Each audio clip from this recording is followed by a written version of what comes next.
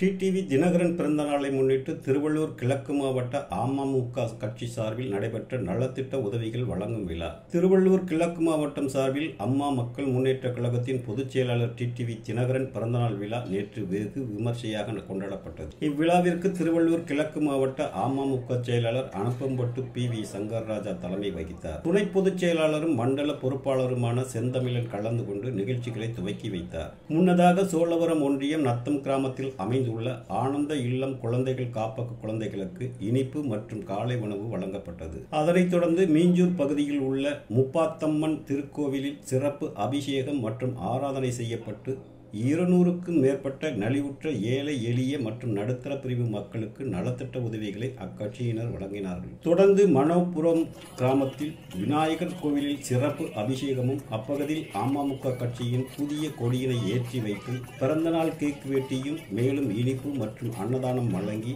அப்பகுதியில் உள்ள நூற்றுக்கும் மேற்பட்ட மகளிர்களுக்கு புடவைகளை அப்பகுதி அமமுக கட்சி நிர்வாகிகள் மற்றும் பொறுப்பாளர்கள் வழங்கினார்கள்.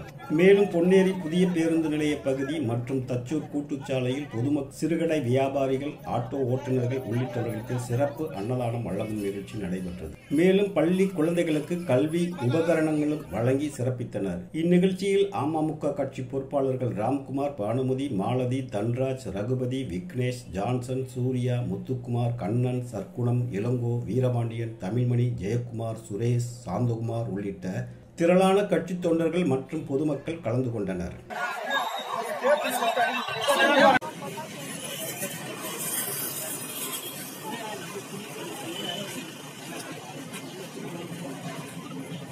நான் எப்படிதான் போடுறது